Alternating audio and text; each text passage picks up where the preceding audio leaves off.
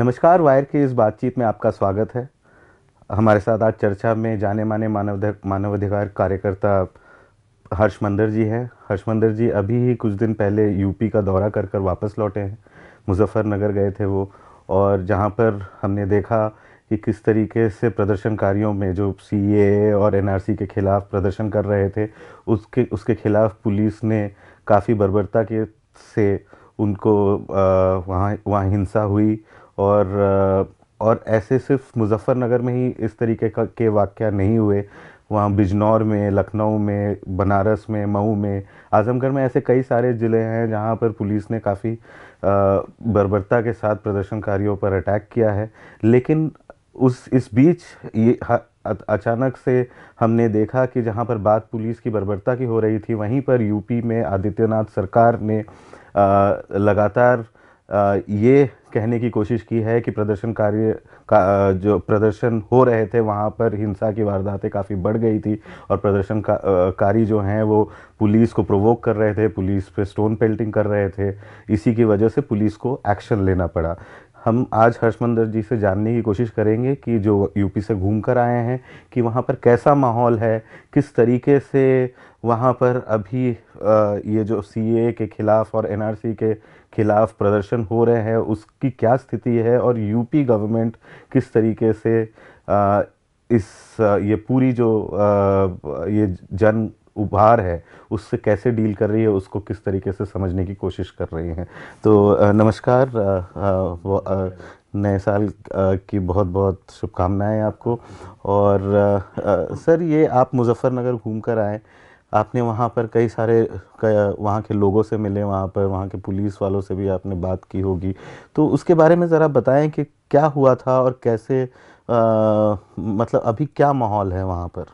देखिए सिर्फ़ मुजफ्फरनगर की बात नहीं है। मेरे साथी मेरठ भी गए हैं और कई जगहों में गए हैं। आज इनफैक्ट संभल में कुछ साथी गए हैं। जो वहाँ की तस्वीर जो उभर के आ रही है बहुत ही ख़तरनाक और डरावना एक तस्वीर सामने आ रही है। मुझे लगता है कि ये ये कोई अतिशोक्ति नहीं होगी कि आदित्यनाथ सरकार ने एक तरह से अपने जो मुस्लिम नागरिक हैं उनके प्रदेश के उन पे जंग छेड़ दिया है और उन्हें खुला जंग छेड़ा है।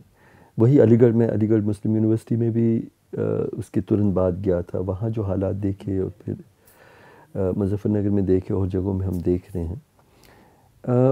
देखिए मैं आई अधिकारी रहा हूँ मैं आ, कई ज़िलों में कलेक्टर रहा छः ज़िलों में कलेक्टर रहा। मैं आ, ऐसे वक्त में चौरासी के दंगों को हैंडल किया हूँ जो आ,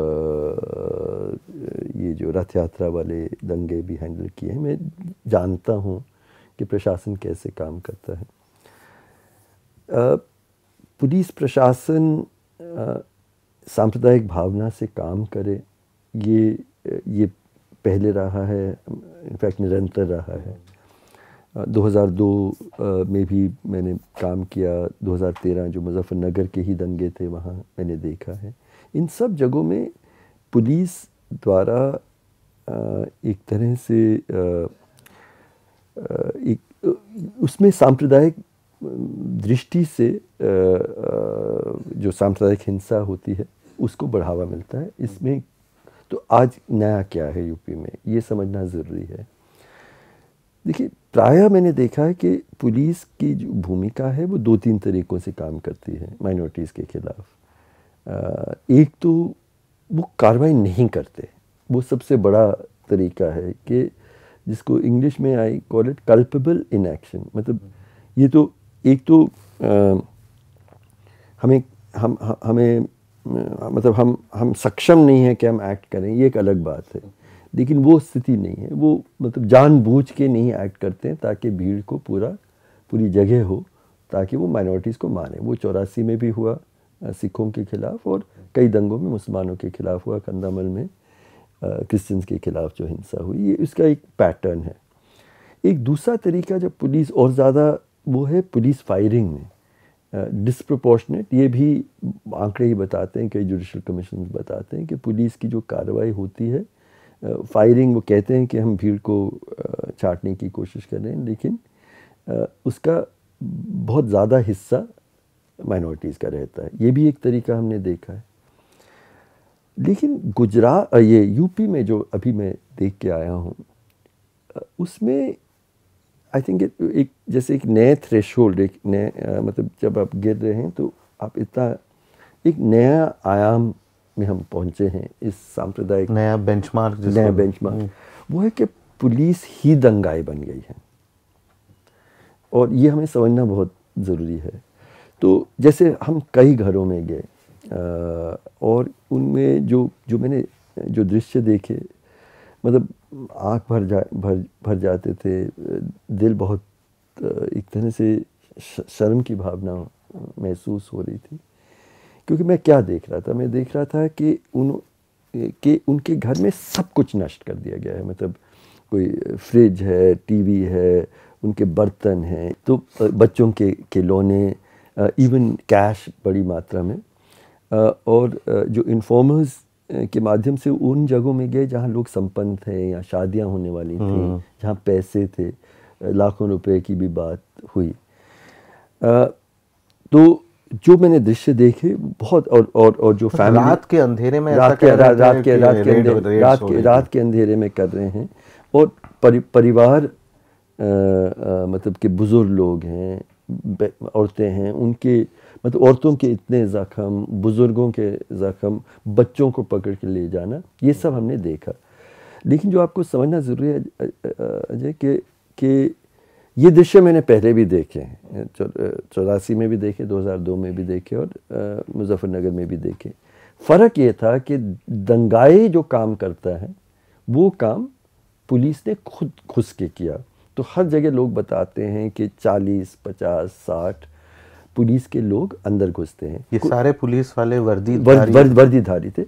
कुछ जगहों में उन्होंने बताया कि वर्दीधारी के साथ साथ कुछ गैर वर्दी वर्दीधारी भी थे। लेकिन कई जगहों में आरएएफ का यूनिफॉर्म या जो खाकी यूनिफॉर्म में लोग घुस के हम वहाँ इनके जो जो बैटन्स हैं उसके टुकड़े देखे टोपी मिली। और और उन्होंने उस तरह का मतलब जो जो लोग बताते हैं कि जो मुसलमानों के खिलाफ जो जो क्या जो गंदी बातें की कही जाती हैं सांप्रदायिक भावना से, जो कही जाती, जाती हैं। वो बातें वो कह रहे हैं चिल्ला चिल्ला के लोगों को डरा के किसी को के प्रति रहम नहीं। लेकिन पुलिस दंगाई बन जाए वो मैंने देखा वहाँ बड़ी मात्रा में। मैं एक चीज़ कहना और कहना चाहता हूँ कि ऐसा नहीं है कि देश में कहीं नहीं हुआ। ये लगभग वह है जो कश्मीर में होता है और तीस सालों से हो रहा है कि यूनिफॉर्म फोर्सेस लोगों के घरों के अंदर जाके लोगों को पीटना उनके सामान को नष्ट करना वो एक तरह के दृश्य जो मैंने देखा। इस इसको मैं मानता हूँ कि ये और और जो बातें लोगों ने कही और ये अलग अलग लोग ये ऐसा भी नहीं क्योंकि हम कई अलग घरों में गए। तो लोग बताते थे दो ताने वो ज़रूर देते थे। एक ताना ये था कि आज़ादी चाहते हो तो दीजिए हम आज़ादी दे रहे हैं आपको। ये है तुम्हारी आज़ादी। ये एक बात बार बार कहे। तो ये जो पूरा जो जो जो पूरा जो सैलाब देश भर में प्रोटेस्ट का है उसमें आज़ादी के शब्द बार बार इस्तेमाल होता है। वो तो स्लोगन बन गया स्लोगन आज़ादी के टाइम से ही हाँ। हमने देखा। तो वो अडेप्ट हो गया है इस वाले में। तो आप तुम्हें आज़ादी चाहिए हम दिखाते हैं आज़ादी।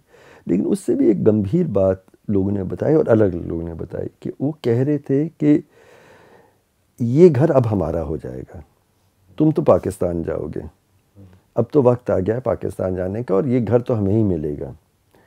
अब ये ये उस तरह की बात है जो हम पार्टीशन की कहानियाँ सुनते हैं। मेरा परिवार भी रावलपिंडी के हैं, जो लोग घुसते थे और फिर आपके घरों पे कब्ज़ा करते थे, उस तरह की बात की जाती थी कि ये अब घर हमारा होने वाला है। तो ये बहुत साफ़ है कि वहाँ की पुलिस ने ये पूरा सी ए एन आर सी को ये समझा है कि ये एक तरह से आर एस एस की दृष्टिकोण में जो अनफिनिश्ड बिज़नेस ऑफ़ पार्टीशन मतलब बंटवारा का जो अधूरा काम है वो ये है कि कि जो मुसलमान हिंदुस्तान में रह गए हैं उनको भी जाना पड़ेगा। तभी उनके हिसाब से ये दो देश हैं मुस्लिम पाकिस्तान और हिंदू हिंदुस्तान। वो पूरा होगा। आ, हम लोगों का मानना है कि मुसलमान हर तरह से इस देश के बराबर के जिसका एक हमने उदाहरण ये भी देखा कि मेरठ के एसपी खुलेआम वीडियो में कह रहे हैं कि इनको पाकिस्तान पाकिस्तान जाने। तो वो वो तो वीडियो में कैच हुआ ये लोगों ने बार बार बताया कि लोग ने कहा कि तुम तो पाकिस्तान जा रहे हो और और ये घर तो हमारा होगा। मतलब हमारा मतलब हिंदुओं का होगा।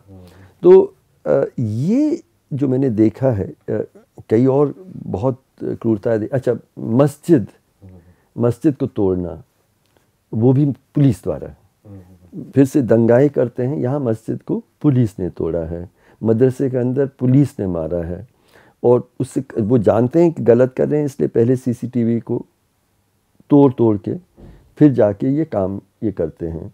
तो दिस इज़ रियली जो मैं कह रहा हूँ कि जब मैं कह रहा हूँ कि एक एक नया बेंचमार्क है आयाम दिस ये एक्चुअली जिसे इंटरनेशनली क्राइम्स अगेंस्ट ह्यूमैनिटी कहते हैं, जब प्रशा, सरकार ही एक तरह से एक कम्युनिटी एक आइडेंटिफाइड कम्युनिटी के खिलाफ अगर एक तरह का जंग छेड़ देता है वो हम उत्तर प्रदेश में देख रहे हैं। और वही एक बात जो सामने बात आई क्योंकि ये जो सारे जो प्रदर्शन हो रहे हैं जो पूरा जो दिख रहा है वो केरला में भी हुए बंगाल में भी हुए मैं देश मध्य प्रदेश राजस्थान में हुए मैं देश में भर में जा रहा हूँ। एक्चुअली कई रैलीज मैंने एड्रेस किए हैं।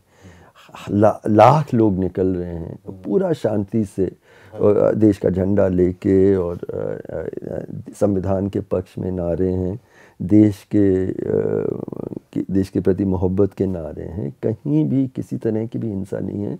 क्यों हिंसा उन्हीं जगहों में है जहाँ बीजेपी पावर वही मेरा सवाल था कि दिल्ली पुलिस दिल्ली पुलिस जो सेंटर के अंडर है यूपी कर्नाटका यहीं पर इस तरीके से फायरिंग की और, कर्नाटक भी वो कोस्टल कर्नाटका जो बिल्कुल सांप्रदायिक हिस्सा है।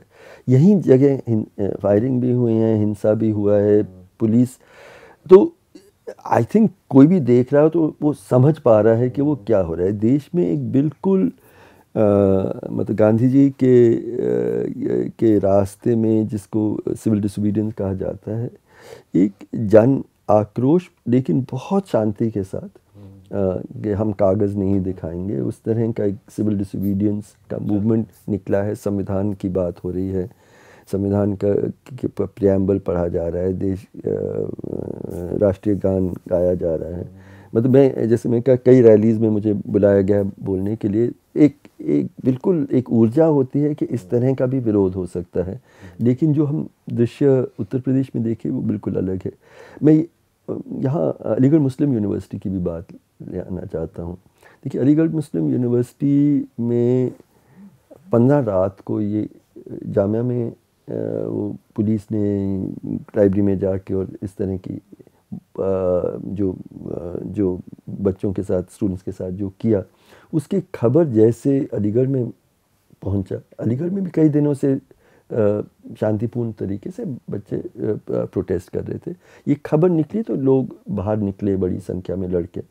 और आरएएफ का फोर्स बिल्कुल गेट के बाहर ही था।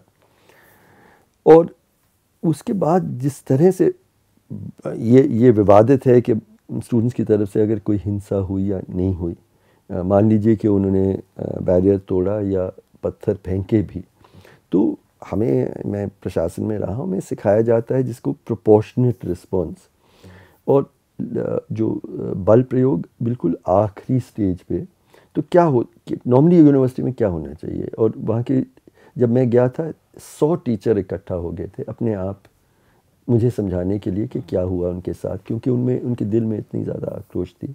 उन्होंने कहा कि ऐसा नहीं स्टूडेंट्स कभी कभी उत्तेजित होते हैं किसी मामले में। तो पहला स्टेप वाइस चांसलर फैकल्टी को बुलाते हैं कि स्टूडेंट्स के साथ वो बैठे, उनको समझाइश दें। वो वो नहीं हुआ। और पुलिस को अगर इजाज़त भी दी जाती है कि वो यूनिवर्सिटी के अंदर आए तो उसके फिर कई स्टेप्स होते हैं। वार्निंग दिया जाता है, फिर लाठी चार्ज फिर ये ये जिस तरह से वो घुसे बिल्कुल जैसे आप टेररिस्ट के खिलाफ जाते हैं और वहाँ के रजिस्ट्रार एक्चुअली आई पुलिस के सर्विंग पुलिस ऑफिसर हैं। ये भी बहुत विचित्र बात है कि उत्तर प्रदेश के 2006 या 8 के सर्विंग पुलिस ऑफिसर रजिस्ट्रार हैं जो एक यूनिवर्सिटी के। अलीगढ़ मुस्लिम-। तो वो भी प्रशासन किस दृष्टि से उस यूनिवर्सिटी को देखता है वो उससे साफ़ दिखता है। ये सर आपको क्या लग रहा है कि एनडीटीवी में आकर मुख्यमंत्री आदित्यनाथ ने यह कहा कि हम बदला लेंगे? और उसके बाद से हर जगह में कानपुर हो या मेरठ हो या बिजनौर हो इस तरीके की रेड्स रात की जो मिडनाइट रेड्स जो कहते हैं मुसलमानों के घर पे होने लग गया। और ये रेड नहीं है ये तो दंगा है। दंगा है वही आप दंगा खुला जंग आप जिसको कह रहे हो कि आपको लग रहा है कि इसमें किसी भी तरीके का पैटर्न इमर्ज होकर आ रहा है या प्री प्लान तरीके से हुआ है? नहीं देखिए, वो जो मैं अलीगढ़ का भी कह रहा था, उन्होंने मतलब रजिस्ट्रार ने खुद मुझे कहा इज़ अ पुलिस ऑफिसर वो कहे कि हमने स्टन ग्रेनेड्स इस्तेमाल किए हैं। अब मेरा मेरे इतने साल, जब मैं कह रहा हूँ छः दिनों में मैं कलेक्टर रहा, कभी हम कल्पना भी नहीं कर सकते worst law and order situation में भी हम स्टन ग्रेनेड इस्तेमाल करें। स्टन ग्रेनेड होता है जब बहुत बड़े विस्फोट के साथ और, और इतना उसमें शोर और रोशनी होती है कि आप कुछ वक्त के लिए बिल्कुल स्तंभ हो जाते हैं। तो उस वो नॉर्मली जैसे आप टेररिस्ट हाउस उसमें जा रहे हैं उससे इंजरी भी बहुत सीरियस हो सकती है। तो एक बच्चे का हाथ उस उस ग्रेनेड में उसका हाथ उड़ गया एम्पूटेट हुआ है। मैं मिला उस लड़के से। He is a doctoral student मतलब आप आप क्या कर रहे हैं? लोगों के हॉस्टल्स के अंदर घुस घुस के उसमें उनको चेस कर रहे हैं। और हर जगह वो कह रहे थे जय जय जय जय श्री राम के नारे। ये पुलिस वाले कह रहे पुलिस वाले ये पूरा पुलिस वाले ही कर रहे हैं। जय श्री राम के नारे। तो जो आप आपने सवाल पूछा ये बहुत क्लियर है कि आदित्यनाथ में योगी कहने में मुझे बहुत संकोच है क्योंकि योगी से कोई कल्पना अलग किस्म की होती है। श्री आदित्यनाथ श्री अजय बिष्ट जो वहाँ के मुख्यमंत्री हैं और जिन्हें खास चुना गया। और आप याद करें कि अगर उत्तर प्रदेश एक स्वतंत्र देश होता तो दुनिया का चौथे सबसे बड़ा देश होता। मतलब इतनी बड़ी आबादी की ज़िम्मेदारी आपने ऐसे इंसान को दिया है जिनका पूरा करियर एक्चुअली नफ़रत के भाषणों से भरा भरा रहा। हम हम हम उससे पहले उनका क्या अ, क्या अकम्पलिशमेंट था सिवाय ये मतलब मुसलमानों के खिलाफ जितना उन्होंने जहर उगाया? अब जो वो कह रहे हैं बदले की बात उन्होंने एक क्लियर मैसेज दिया है कि आप ये करें। देखिए किसी भी तरह मतलब कोई प्रोटेस्ट हो नहीं रहा। आप लोगों के घरों में घुस के उनका हर सामान नष्ट कर रहे हैं। और लोगों को पीट पीट के ख़त्म कर रहे हैं जैसे मैंने कहा ये तो मैंने सिर्फ़ और सिर्फ़ कश्मीर में देखा है। इसमें मतलब यही सवाल कश्मीराइजेशन ऑफ़ क्या आप हम चाहते हैं कि कश्मीर में जो हालत है और जो वो, हम उत्तर प्रदेश में भी लाएँ कश्मीर के लोगों ने तीस साल तक कितना कुछ झेला है सिक्योरिटी फोर्सेस के हाथ। हम उससे मतलब उससे शर्मिंदगी और उसको उसको समाप्त करने समाप्त करने की जगह अगर हम उत्तर प्रदेश में भी इसको ले आएँ और इसका, इसकी आग और इसकी जहर कहाँ तक फैलेगी? इसकी कोई ज़िम्मेदारी, एक चीज़ और मैं कहना चाहता हूँ कि जो जो अधिकारी हैं एसपी हैं एसएसपी हैं डीएम हैं, उनके बारे में भी मैं, मुझे बहुत शर्मिंदगी होती है। मैं मैं जानता हूँ किसी अधिकारी को इस तरह के आदेश स्वीकार करना या इस तरह का संकेत मानना कि वो इजाज़त दें या बढ़ावा दें कि उनके पुलिस दंगाई बन जाए। ये अ, मतलब उनकी शर, उनको शर्मिंदगी होनी चाहिए उनको मतलब अ, मैं, मैं तो मेरे मेरे लिए कोई शब्द भी नहीं है। देखिए आम इंसान दंगा करे एक अपराध है। आपकी ज़िम्मेदारी है कि आप आप आपके संविधान ने आपको अ, के तहत एक व्यवस्था बनी है आप उस व्यवस्था का के हिस्से हैं। आपकी ज़िम्मेदारी है कि आप कमज़ोर की रक्षा करें और इंसाफ करें। और ऐसी ऐसी स्थिति में आप उसका हिस्सा बन जाएँ। ये ये शर्मिंदगी बात है। और एक आखिरी बात इसमें मैं कहना चाहता हूँ, कई लोग ये कहेंगे आपके जो व्यूअर्स भी ये कह सकते हैं कि, अरे भाई क्या कर सकते हैं? जो पुलिस है वो है ही सांप्रदायिक। मैं जो जो लोअर कॉन्स्टेबली है, इसके बारे में मेरे बहुत स्ट्रॉन्ग व्यूज़ हैं। क्योंकि मैंने उसी उसी पुलिस फोर्स को लीड किया है। और मैंने देखा है कि आप सही रास्ता एज लीडरशिप आप उनको कहें कि आपको इंसाफ करना है। ख़राब से ख़राब दंगे में मैंने देखा है कि वो आपका साथ देते हैं, उन, वो बिल्कुल माइनॉरिटीज़ को प्रोटेक्ट करते हैं और उनको गर्व भी होता है कि हम तो प्रॉब्लम लोअर पुलिस फोर्स का नहीं है प्रॉब्लम लीडरशिप का है, जो एडमिनिस्ट्रेटिव लीडरशिप है और पॉलिटिकल लीडरशिप है। शत प्रतिशत, मैं ये नाइन्टी नाइन परसेंट शत प्रतिशत ज़िम्मेदारी उनकी है। उनकी है अगर पुलिस फोर्स अगर पुलिस फोर्स इस तरह से करे, उसकी ज़िम्मेदारी प्लीज़ ये ये और जब ये मामला आगे बढ़ेगा तो अंत में, गुजरात में भी पुलिस कमिश्नर और डीजी ने कहा अरे हम क्या कर सकते थे? पुलिस तो ऐसे ही सांप्रदायिक है। ये बिल्कुल ही गलत है क्योंकि वहीं गुजरात में राहुल शर्मा के जहाँ एसपी थे उन उन्होंने और मैं मैं जब उनसे बात की तो मुझे बहुत अच्छा लगा क्योंकि उन्होंने एग्जैक्टली वो शब्द किए कि मेरे पुलिस फोर्स ने तो पूरा सही किया और ये किया और वो किया और तो अच्छा, जहाँ जिस जैसे इसमें यूपी में भी एक बात अलीगढ़ के जो एसपी है आकाश कुलहरी उनका काफ़ी वीडियो वायरल हुआ।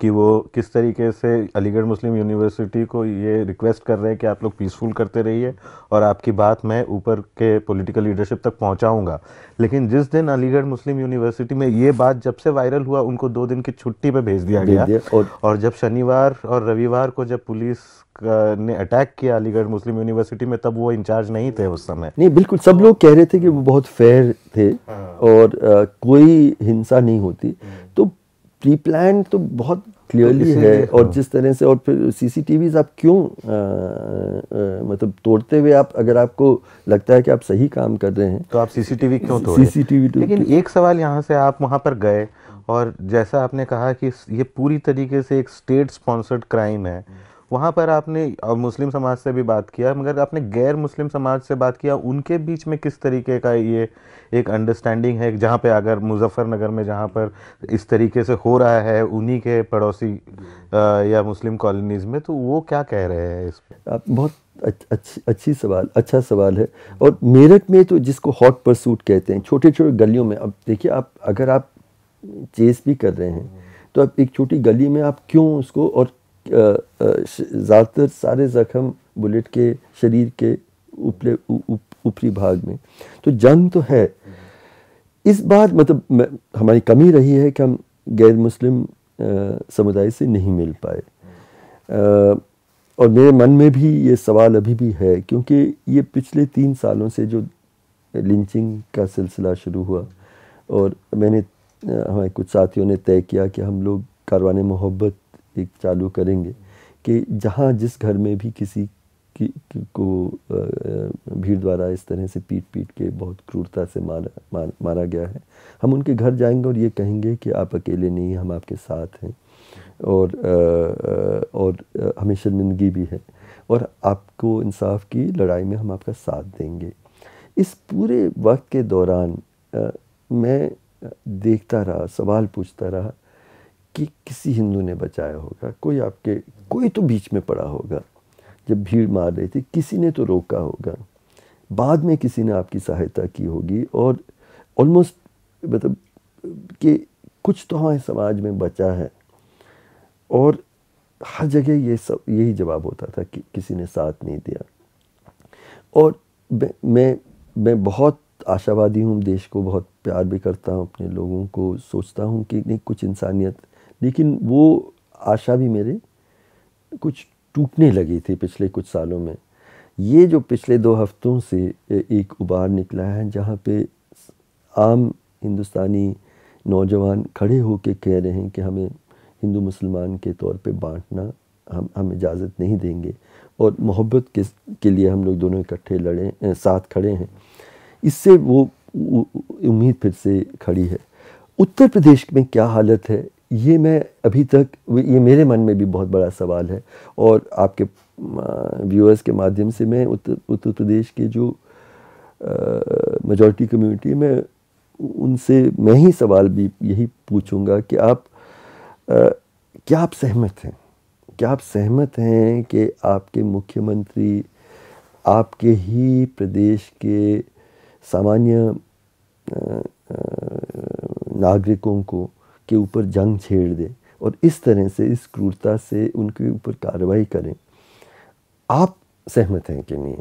क्योंकि ये ये अब सवाल सिर्फ़ उनके सामने ये सवाल तो रहेगा कि क्या इस तरीके का वो पुलिस राज्य चाहते हैं कि जहाँ पर किसी एक समुदाय को टारगेट किया जा रहा है कल किसी और समुदाय का नहीं सब, सवाल यही है कि मैं ये ये इतिहास बार बार बताता है। कई बार हम लोग सोचते हैं कि चलिए वो वो दूसरे लोग हैं। उनके साथ हो रहा है, हमारे साथ तो नहीं हो रहा है, हमें क्या चिंता है? लेकिन एक तो इंसानियत के तौर पे वो बहुत बहुत ही चिंतनीय सोच है। अगर हम सोचते हैं कि हमें फ़र्क नहीं पड़ता कि हमारा पड़ोसी के साथ इतनी नाइंसाफ़ी हो और मैं चुप बैठूं। लेकिन लोग, लोगों को ये समझना भी ज़रूरी है कि पड़ोसी के घर में आग लगे तो उसकी लपटें हमारे तरफ़ भी आएँगी। क्योंकि आप अपने बच्चों को किस तरह के समाज में बड़ा करना चाहते हैं? आप क्या चाहते हैं कि आपके बच्चे इस नफ़रत की भावना से बड़े हों? ये तो एक सवाल है। और दूसरा कि आज मुसलमान कल दलित, परसों किसी जाति विशेष के खिलाफ अगर सरकार का सरकार जैसे वो कहते हैं कि खून का जब अगर वो एक आदत होने लगे तो कहीं वो रुकेगी नहीं। हर्ष जी मेरे दो सवाल हैं। एक तो आ, क्या आपने आ, ये सारा जब यू, ये जन सैलाब बढ़ रहा था तो यूपी सरकार ने पूरा जो ए, एक अपने जो एक्शन तो इस तरीके के जो एक्शन थे दबिशें थी वो तो किया ही। उसके बाद से ये चलता आ रहा है कि जिन लोगों ने दंगा किया उनका हम प्रॉपर्टी सीज कर लेंगे।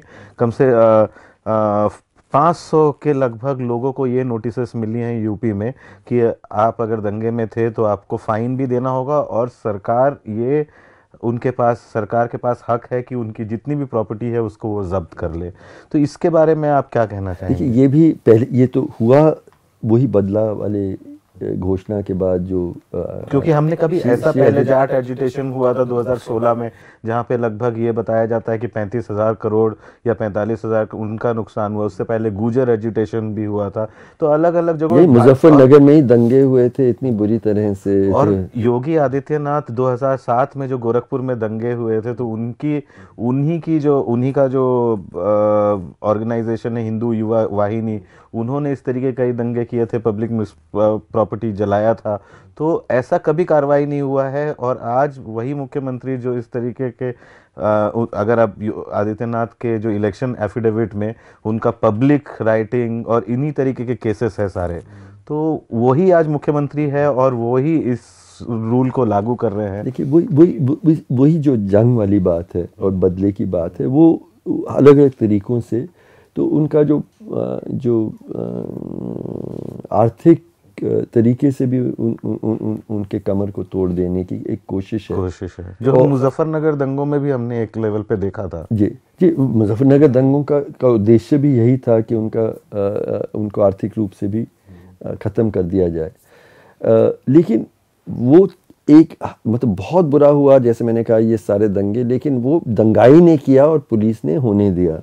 यहाँ पुलिस खुद ही कर रही है। और ये जो प्रॉपर्टी का इतना विचित्र है कि मैंने वो, वो उसके जो हाई कोर्ट के निर्देश वगैरह भी पढ़े हैं ध्यान से। एक अगर वो करना भी है किसी सरकार को तो उस पर पहले आप उसका गिल्ट तो इस्टेब्लिश करें ना। मतलब और उसमें ये कहा गया कि जुडिशल तरीके से कि अजय उस वक्त दंगा कर रहे थे उन्होंने ये संपत्ति तोड़ा। इसलिए आपके ऊपर मैं ये कर रहा हूँ एक पूरी एक पूरी प्रक्रिया के बाद आखिर में मैं वो करूँ।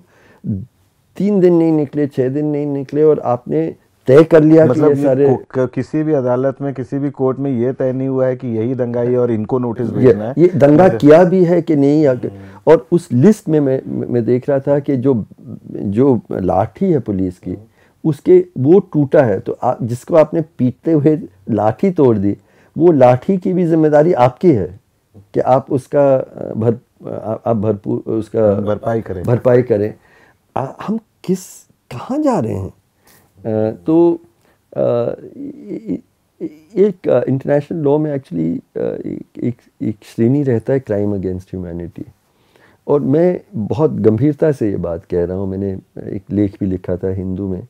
मैंने ये कहा कि हमें पहचानना होगा कि जो उत्तर प्रदेश हम हम देख रहे हैं वो एक क्राइम अगेंस्ट ह्यूमैनिटी है। वहाँ जहाँ सरकार ने खुल के अपने ही एक आइडेंटिफाइड समुदाय के खिलाफ जंग छेड़ा है।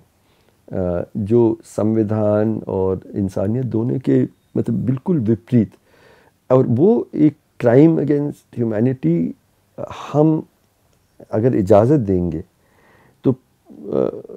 तो पता नहीं हम कहाँ पहुँचेंगे। मैं मुझे वही लग रहा था कि जो जिन जो चेहरे में देख के आया हूँ और मैं मानता हूँ कि बहुत कुछ अन्याय नाइंसाफ़ी ऐसा कहा माइनॉरिटीज़ ने देखा है। लेकिन ये एक किस्म का ज़ख्म है जो मुझे नहीं लगता है कि ये ये भर भी सकता है। तो ऐसा कहा जा रहा है कि एफआईआर जो पुलिस ने लॉन्च की है उसमें बीस हज़ार बाईस हज़ार कहीं पचास हज़ार एनोनिमस लोगों के खिलाफ किया है तो ऐसा क्या हो सकता है कि किसी को भी पकड़ लिया जाए? तो इस उसका उद्देश्य भी यही है कि किसी को हिम्मत ना हो कि वो अ, कि वो अ, शिकायत करें।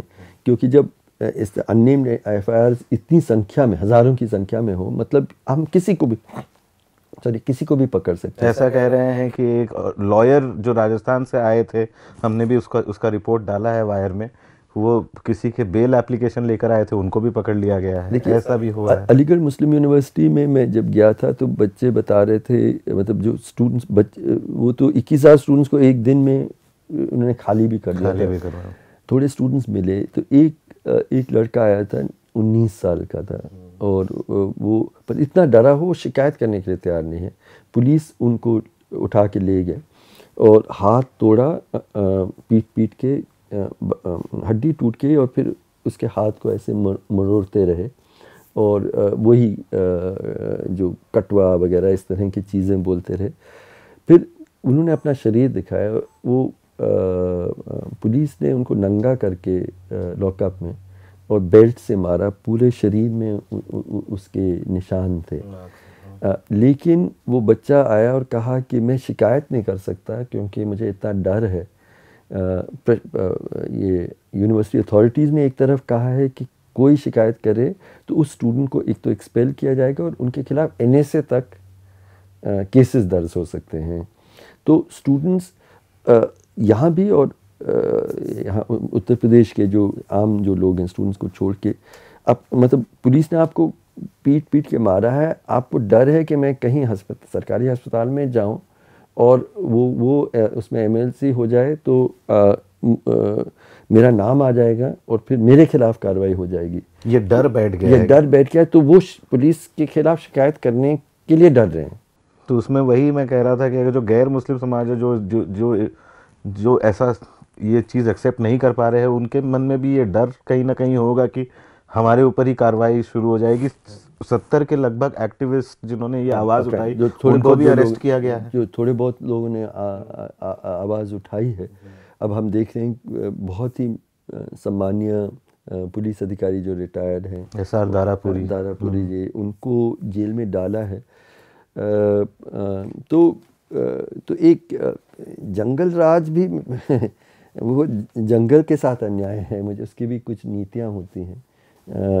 एक एक अ, अ, क्या हम इजाज़त देंगे और पूरे बाकी देश में इतने सुंदर तरीके से अ, एक तरह से लोकतंत्र को हम एक एक बार फिर उसकी खुशबू उसकी महक कि किस तरह से शांतिपूर्ण तरीके से हम अपने सरकार से असहमति व्यक्त कर सकते हैं ये एक तरफ़ हम देख रहे हैं। और ये हम उत्तर प्रदेश में देख रहे हैं एक क्राइम अगेंस्ट ह्यूमैनिटी ही है कि अ, वहाँ के मुख्यमंत्री ने इतनी नफ़रत की इजाज़त और एक तरह से बढ़ावा अपने ही शासन, अपने ही लोगों के खिलाफ। जी, मेरा आखिरी सवाल सर यही रहेगा कि आपने ये कहा कि सरकार ने मुसलमानों के खिलाफ एक तरीके से एक कम्युनिटी के खिलाफ जंग छेड़ दी है। लेकिन कहीं आपको ऐसा लगा उत्तर प्रदेश में या किसी और स्टेट्स में कि यहाँ पर इस पूरे जो पुलिस ब्रुटैलिटी है उसके दौरान कहीं ना कहीं गरीब जो है वो ज़्यादा डिस्प्लेस हो रहे हैं वो ज़्यादा इफ़ेक्ट हो रहे हैं। मतलब उस कम्युनिटी के बीच में भी कहीं ऐसा लग रहा है आपको? ऐसी स्थिति एक बार फिर बहुत अच्छा सवाल है। हम हमारा जो अब तक हम देख पाए हैं जगह जगह जा रहे हैं कि मारे जाने वाले लोग प्रायः गरीब होते हैं। कोई अपने काम से भाग रहा है कोई यहाँ मजदूरी एक ई रिक्शा ड्राइवर हाँ, था कोई इस तरह हाँ, लेकिन जो घरों में गए वो एक्चुअली ऐसे मुसलमान लोगों के घरों में गए हैं जो थोड़ा बहुत संपन्न हैं। तो पक्के घरों में उनके उनके उनके घर में हर चीज़ थी जो मेरे और आपके घर में हो सकता है। और लोग बताते हैं कि पुलिस के इन्फॉर्मर्स ही बताते हैं कि ये संपन्न है ये सामान्य है। इनके यहाँ शादी हो रही है कि एक घर में हम गए थे एक बुज़ुर्ग आदमी पचहत्तर साल के थे वो रोना उनका बंद ही नहीं हो कि दो उनकी जो पोतियाँ थीं उनको उनकी शादी की तैयारी थोड़े दिनों में हो हो रहा था पूरा सामान था पैसे थे। तो तो दोनों किस्म के लोग मुझे लगता है जो आर्थिक रूप से जो जो प्रहार हो रहा है वो अ, उस उनके घरों में लूट भी हुआ है क्या? लूट भी हुआ है पैसों का कैश का। और अ, जो पुलिस के दबिशों में ही हुई। न- पुलिस द्वारा और कोई है और ही है ही नहीं। नहीं, और कोई है ही नहीं। वही तो मैं कह रहा हूँ कि जो काम ऐसा नहीं है कि मैंने पहले ऐसा विनाश लोगों के घरों का नहीं देखा है लेकिन दंगाई नहीं किया है। वो काम अब पुलिस कर रही है। और और जैसे मैंने कहा वो उसके उसके दृश्य हमने सिर्फ़ उसकी कहानियाँ सिर्फ़ हमने कश्मीर में सुनी अब तक। हाँ बहुत बहुत शुक्रिया आपका हर्ष। जी पुलिस ही दंगाई बन गई है उत्तर प्रदेश में। और ऐसा हर्ष अ, और कई उनके साथी जो है वो जब उत्तर प्रदेश से वापस आए तो उन्होंने ये कहा है क्या हम इस तरीके का एक राज्य चाहते हैं जहाँ पर प्रोटेस्ट प्रदर्शनकारियों पे इस तरीके का हमला हो और जहाँ पर ऐसे स्टेट में जहाँ पर क्रिमिनलाइजेशन इतना बढ़ गया है और हर तरीके से मतलब सारे क्राइम्स चल रहे हैं लेकिन स्टूडेंट्स पर और इस तरीके के प्रदर्शनकारियों पर इस तरीके का हमला हो, क्या ये जायज़ है? इस सवाल के साथ हम इस चर्चा को समाप्त करेंगे। नमस्कार। द वायर के और वीडियोस देखने के लिए सब्सक्राइब करें और बेल आइकन पर क्लिक करें। स्वतंत्र पत्रकारिता की आर्थिक मदद करने के लिए डिस्क्रिप्शन में दिए गए लिंक पर जाएँ और अपनी राशि चुनें।